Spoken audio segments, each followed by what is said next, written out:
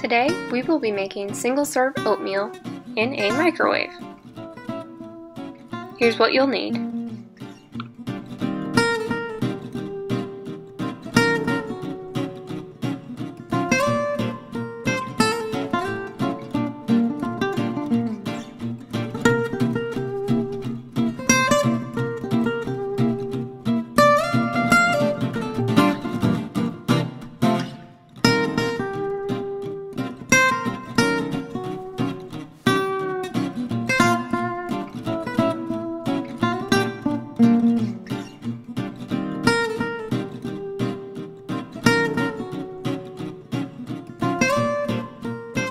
Put it in the microwave for 3 minutes on high.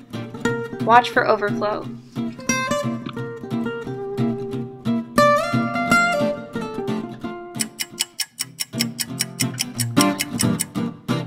A bowl or a mug with tall sides will help prevent overflow and keep your microwave clean.